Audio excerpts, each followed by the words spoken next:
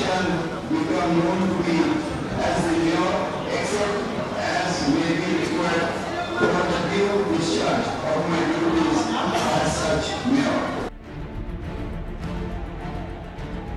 একশো একুশ ভোট পেয়ে জিতলেন তিনি। কলকাতা পেল নতুন মেয়র ফেরহাদ হাকিমকে।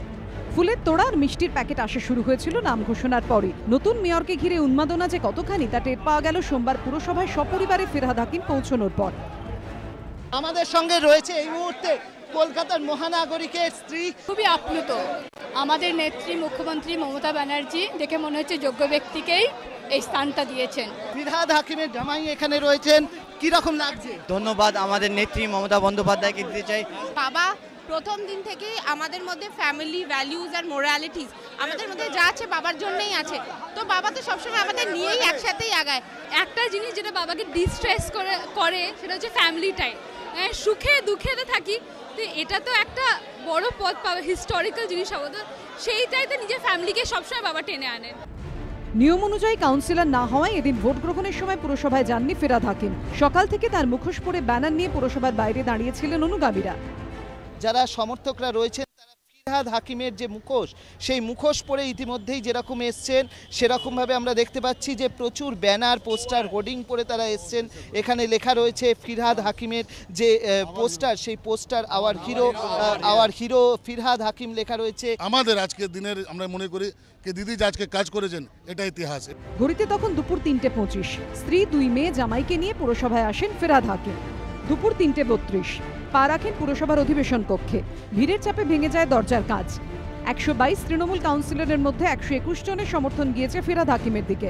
চিকিৎসার জন্য ভিন রাজ্যে থাকায় অনুপস্থিত ছিলেন তেষট্টি নম্বর পুরসভার তৃণমূল কাউন্সিলর সুস্মিতা ভট্টাচার্য। বিজেপির মেয়র পদপ্রার্থী মীনা দেবী পুরোহিত পান পাঁচটি ভোট। একশো একুশ জনই তৃণমূল কংগ্রেস প্রার্থীকে তারা ভোট দিয়েছে।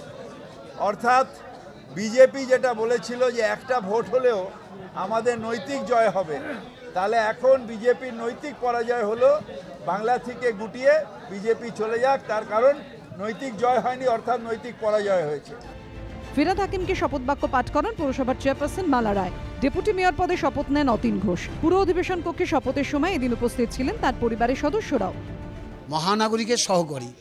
তো ফলে মহানাগরিকের উপস্থিতি। এবং মহানাগরিক যে দায়িত্ব আমাকে দেবেন সেই দায়িত্বগুলো আমাকে পালন করতে হবে। ফলে সার্বিক কলকাতার উপমহানগরিক হিসেবে কলকাতার প্রত্যেকটি সমস্যাই আমার সমস্যাই বলে আমি মনে করি। নিরুত্তাপ পুরো ভোটে উপস্থিত হয়ে এদিন একমাত্র যিনি উত্তাপ ছড়ালেন তিনি মেয়র পদে সদ্য প্রাক্তন শোভন চট্টোপাধ্যায়। আমি আমার নিজের সম্মান আত্মমর্যাদা সম্বন্ধে আমি ভীষণভাবে কনসাস আমি তাতে যা করণীয় মনে করি, সেটা চিরকাল করেছি, আজও সেটা করলাম। বাবিদার প্রতি আমার শুভেচ্ছা এবং ডেফিনেটলি কলকাতা কর্পোরেশন আরও ভালোভাবে চলবে। এগারো জন মেয়র পরিষদ অপরিবর্তিত থাকলেও অতিরিক্ত মেয়র পরিষদ হিসেবে এদিন শপথ নেন বৈশানুর চট্টোপাধ্যায়। এদিন ভোটদানে বিরত ছিল বাম Congress. Arnab Mukhopadhyay report, ABP Ananda, Kolkata.